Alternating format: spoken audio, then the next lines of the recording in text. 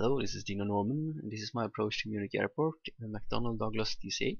This is an old plane, so it's no longer used, but I flew it anyway from Amsterdam Airport here to Munich. And in this flight, I've been practicing on uh, doing the throttling manually without the, the auto throttle, and I actually managed to fly the plane completely manually all the way. And uh, that's something I'm practicing on right now in the Flight Simulator. And the reason I'm posting this video is because I'm rather proud of it because I feel that I'm getting better at the flying planes.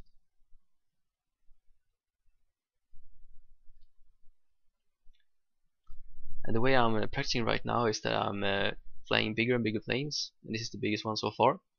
After this one is uh, Boeing 757 in uh, the line. And I go for landing.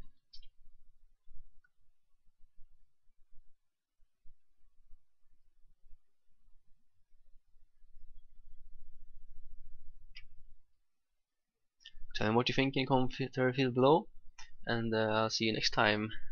Bye.